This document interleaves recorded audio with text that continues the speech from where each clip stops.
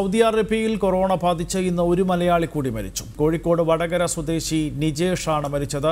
മറ്റു രണ്ട് മലയാളികൾ ഹൃദയാഘാതത്തെ തുടർന്നും ഇന്ന് മരിച്ചു. കൊറോണ ബാധിതനായ ഒരാൾ ഉൾപ്പെടെ മൂന്ന് മലയാളികൾ സൗദിയിൽ മരണമടഞ്ഞു. കോഴിക്കോട് വടകര കക്കട്ടിൽ കുറ്റിയിൽ വീട്ടിൽ കണാരൻ ജാനു ദമ്പതികളുടെ മകൻ നിജേഷ് ആണ് കൊറോണ ബാധിച്ച് ചികിത്സയിലിരിക്കെ ദമാം സെൻട്രൽ ആശുപത്രിയിൽ മരിച്ചത്. ദമാം ടൊയോട്ടയിൽ ഹോട്ടൽ നടത്തി വരികയായിരുന്നു ഇദ്ദേഹം. മുപ്പത്തിമൂന്ന് വയസ്സായിരുന്നു. ഭാര്യ ഷിംന. മലപ്പുറം പാങ് അമ്പലപ്പറമ്പ് മില്ലുംപടി സ്വദേശി മുല്ലപ്പള്ളി മുഹമ്മദ് അലി അൻപത് വയസ്സ്.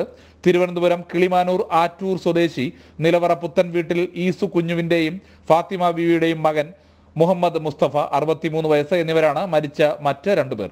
ഹൃദയാഘാതമാണ് മരണകാരണം എന്നാണ് വിവരം. സുലയിൽ സ്വകാര്യ കമ്പനിയിൽ ജോലി ചെയ്തു വരികയായിരുന്ന മുഹമ്മദ് അലി റിയാദിലാണ് മരിച്ചത്. മൂസ ഹാജി ആയിഷ കുട്ടി ദമ്പതികളുടെ മകനാണ്. ഭാര്യ ഉമ്മുക്കുൽസു മക്കൾ മിൻഹാജ് നിയാസ് നിഹാൽ. കഴിഞ്ഞ മുപ്പത് വർഷമായി ടാക്സി ഡ്രൈവറായി ജോലി ചെയ്തു വരികയായിരുന്ന മുഹമ്മദ് മുസ്തഫ ദമാമിലെ സ്വകാര്യ ആശുപത്രിയിൽ ചികിത്സയിലിരിക്കെയാണ് മരിച്ചത്.